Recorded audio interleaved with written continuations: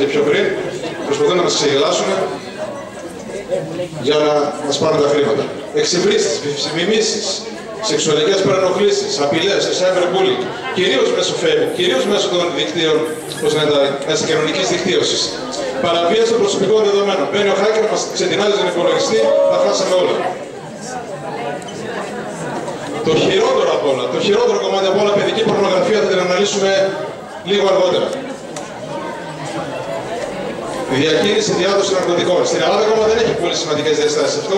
Υπάρχουν όμως site τα οποία όχι μόνο εκθιάζουν τη χρήση ναρκωτικών, όχι μόνο το παρουσιάζουν σε κάτι φυσιολογικό, δίνουν μέχρι και οδηγίες.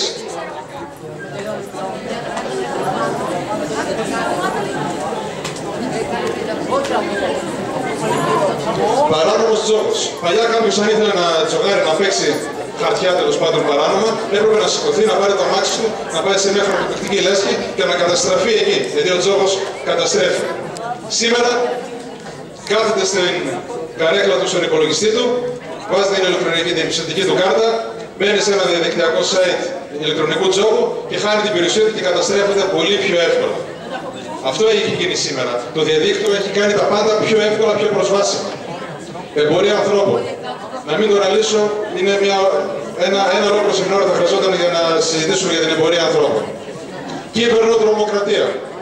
Παλαιότερο ο τρομοκράτης έπρεπε να πάει και να βάλει βόμβα. Ήθελε να αντινάξει τα, ξέρω εγώ, το κτίριο της CIA, έπρεπε να πάει και να βάλει βόμβα. Σήμερα τι κάνει, μπαίνει μέσα, χτυπάει το σερβερ της ε, υπηρεσίας, έχει κάνει παρόμοια ζημιά. Πολύ σοβαρή ζημιά.